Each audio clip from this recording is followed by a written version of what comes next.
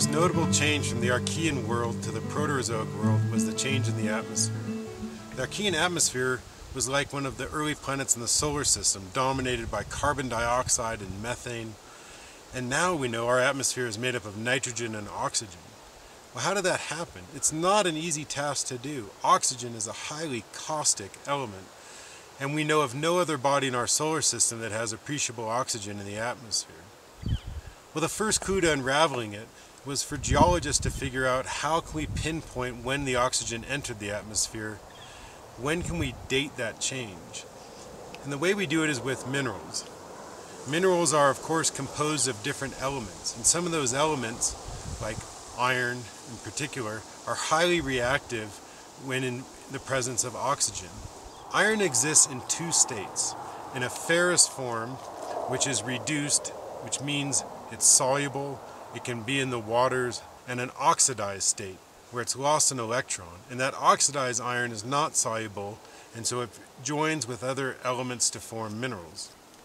What I'm sitting on here is a pile of rocks that came out of the mine, and these rocks are banded iron formation, one of the key rocks of the Archean and the Paleoproterozoic time in Earth's history.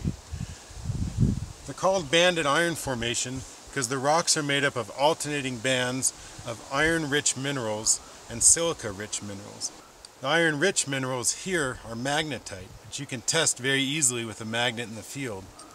These alternating layers really show up underneath a microscope where you can see the clear quartz grains separated by the opaque iron minerals. But the question still remains, what caused that iron to be oxidized in the first place?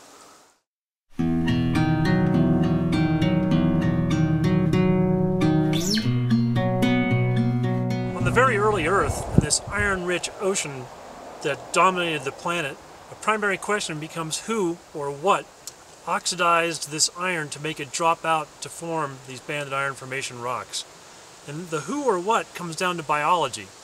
And when we think about biology, this is before the planet had plants and animals and fungus. The biology was microbiology. It was single-celled organisms that were happily doing their thing in a very reduced world or a reduced environment with no oxygen. There were three possible ways that oxygen could form that could bind with the rich, the iron 2 rich ocean to make iron 3 hydroxides. And those would be the first would be cyanobacteria, where cyanobacteria evolved the capability to split water. And when they split water, they're producing oxygen and they're fixing carbon. But it's the splitting of water and the release of oxygen into their little microenvironment that becomes a critical thing because the iron that's iron 2 is going to be oxidized rapidly to iron 3 and drop out of solution.